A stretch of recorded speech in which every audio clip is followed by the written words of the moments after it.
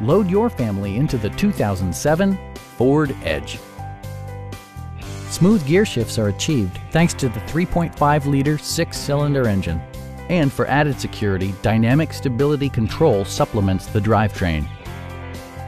Top features include remote keyless entry, front and rear reading lights, a trip computer, front fog lights, and much more. Take assurance in side curtain airbags, providing head protection in the event of a severe collision. Please don't hesitate to give us a call